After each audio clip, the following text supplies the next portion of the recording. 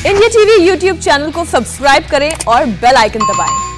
प्रधानमंत्री नरेंद्र मोदी आज सुबह सुबह शीशगंज गुरुद्वारा पहुँचे। उन्होंने गुरुद्वारे में मत्था टेका और श्रद्धालुओं से मुलाकात की। प्रधानमंत्री बिना सिक्योरिटी कवर के पहुँचे थे।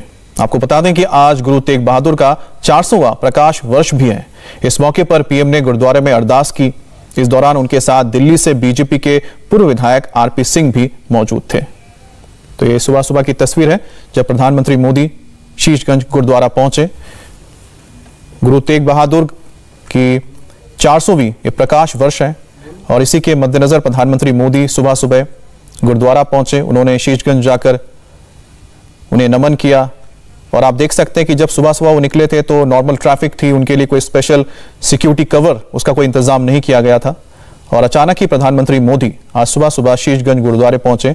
गुरु तेग बहादुर को श्रद्धांजलि देने के लिए और साथ ही अरदास करने के लिए। चांदी चौक के इस गुरुद्वारे पर प्रधानमंत्री मोदी बिना किसी पूर्व सूचना के पहुँचे। ऐसे में मैनेजमेंट के लोगों को भी पीएम के आने की जानकारी नहीं थी। शीशगंज गुरुद्वारे से India TV reporter Sanjay Shah की यह रिपोर्ट आपको दिखाते हैं। प्रधानमंत्री नरेंद्र मोदी आज सुबह सुबह अचानक गुरुद्वारे पहुँचे। चांदनी चौक इलाके में स्थित शीशगंज गुरुद्वारे में प्रधानमंत्री सुबह बिना लाव लश्कर के पहुँचे। बिना किसी सिक्योरिटी इंतज़ाम के।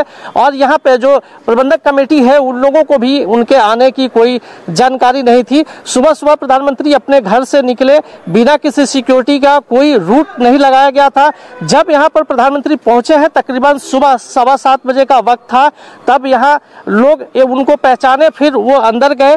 और वहाँ पे मत्था टेका। चूँकि आज सिख धर्म के नौवे गुरु गुरु तेग बहादुर का चार प्रकाश दिवस है, जिसके मौके पर प्रधानमंत्री यहाँ पर पहुँचे हैं और प्रकाश उत्सव की लोगों को, जो लोग मौजूद थे अंदर गुरुद्वारे के अंदर, उन सभी लोगों से प्रधानमंत्री ने मुलाकात भी की और उनको प्रकाश पर्व की बधाई दी। उनके साथ केंद्रीय शहरी विकास मंत्री हरदीप सिंह पुरी भी साथ में थे और तकरीबन यहाँ 20 मिनट तक प्रधानमंत्री रुके हैं। उसके बाद यहाँ से मत्था टेक कर वापस चले गए बिना किसी लाव लश्कर का प्रधानमंत्री यहाँ पर पहुँचे थे।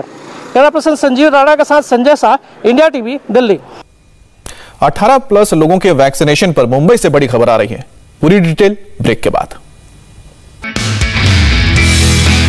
नमस्ते मैं हूँ मीनाक्षी जोशी। वीडियो और खबरों से अपडेट रहने के लिए India TV YouTube channel subscribe करें। बेल आइकन दबाना ना भूलें। जुड़े रहें इंडिया टीवी के साथ।